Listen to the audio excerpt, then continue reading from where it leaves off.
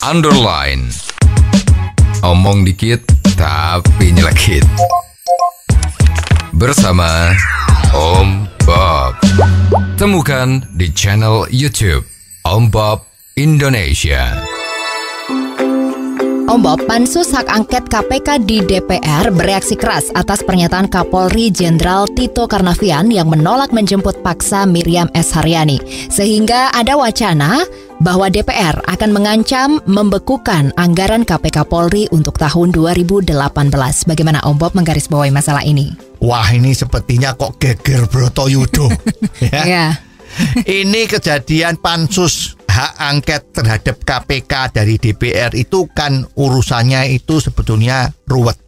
Dimulai dari hasil penemuan KPK di dalam kasus korupsi IKTP yang merugikan negara 2,6 triliun Ya. dari proyek yang lima setengah triliun. Jadi separuh lebih itu dikorupsi ya. Ya. Ini kan penemuan besar ya. Ya. Nah, di dalam rangka penyelidikan dan penyidikan IKTP korupsi ini, salah satunya adalah melibatkan seorang saksi yang namanya Miriam.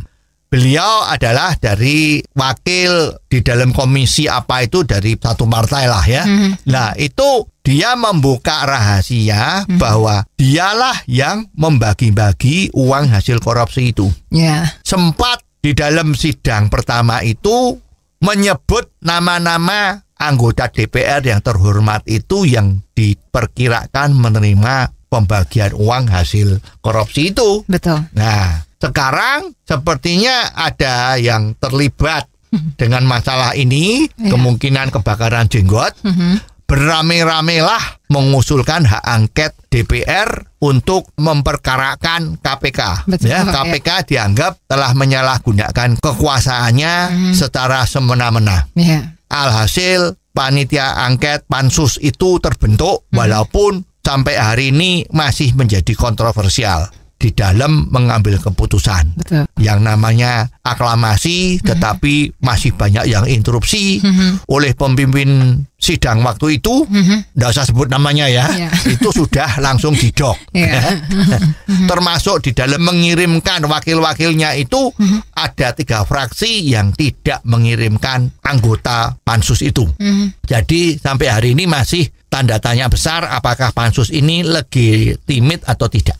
Nah sekarang tiba-tiba karena Ibu Miriam ini hendak diminta keterangannya kepada pansus dan status Miriam yang masih tahanan KPK itu tidak memungkinkan diizinkan oleh KPK untuk hadir, maka DPR ini minta bantuan dari kepolisian Ya. supaya ditangkap, dihadirkan secara paksa. Hmm. Karena kasus hukum ini tidak jelas, oleh Kapolri permintaan itu sepertinya tidak diperbolehkan. Mhm. Nah, rupa-rupanya anggota DPR kita yang terhormat ini, pansus itu merasa, wah kehormatannya diganggu. Sehingga mengeluarkan ancaman seperti itu. Mhm. Bahwa anggaran untuk kepolisian dan KPK pada tahun 2018 nanti tidak akan dibicarakan.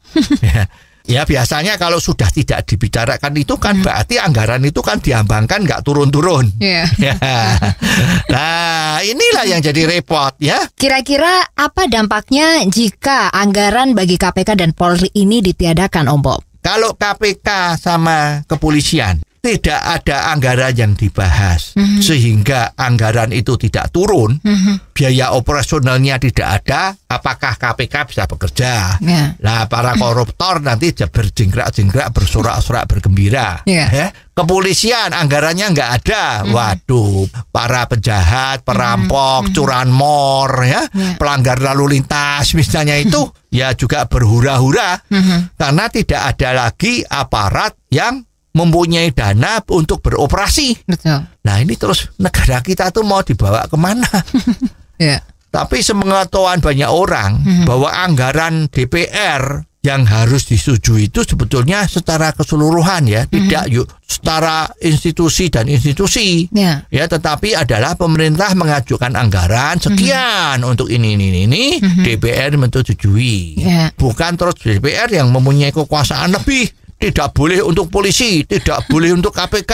Ya. Lah ini terus negara kita mau dibawa ke mana? Ya. Ya mudah-mudahan saja apa yang diwacanakan sebagai ancaman dari pansus hak angket KPK ini ya cuman sampai di sini saja ya. Ya. Anggap aja ini sebagai sandiwara di siang hari bolong.